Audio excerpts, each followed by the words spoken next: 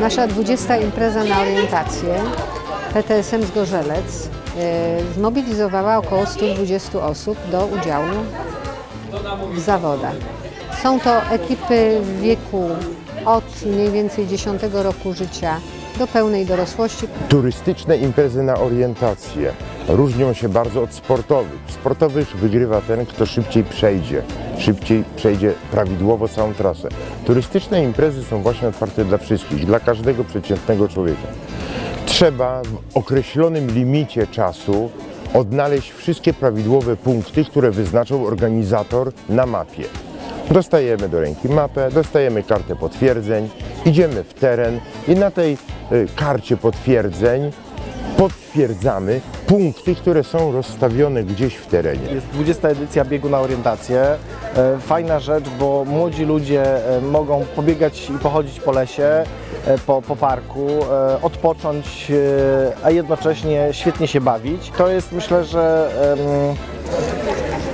takie połączenie praktycznego z pożytecznym, bo praktycznie uczą się czytać mapę, uczą się znajdować punkty na mapie, uczą się orientacji w terenie, a jednocześnie myślę, że chodząc po, po parku, po lesie, świetnie się bawią i to jest e, najważniejsze. Nasz e, bieg na orientację wchodzi do Pucharu, więc e, też jest ważny, stąd wiele, wiele drużyn, bo i z Wrocławia, i z Jeleniej Góry, i z wielu innych miejscowości Dolnego Śląska.